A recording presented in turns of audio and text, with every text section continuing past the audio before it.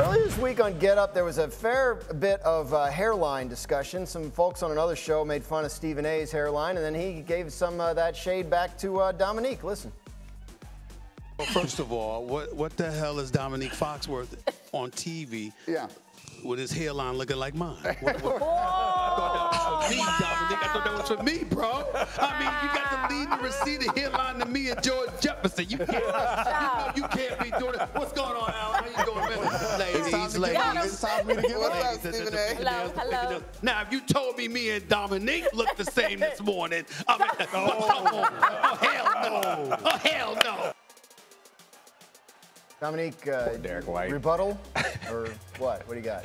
I mean, I don't need to, there's no rebuttal needed. We can see I may be like down by two or three points, but Stephen A down 50. It's time to give up. Forfeit. You been lost, bro. I'm hanging in there. We fighting. My team ain't giving up. Yours? Time to shave it off and come on home, as Bomani Jones would say.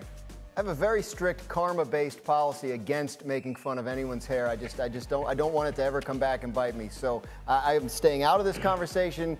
Enjoy letting you guys have uh, your thing.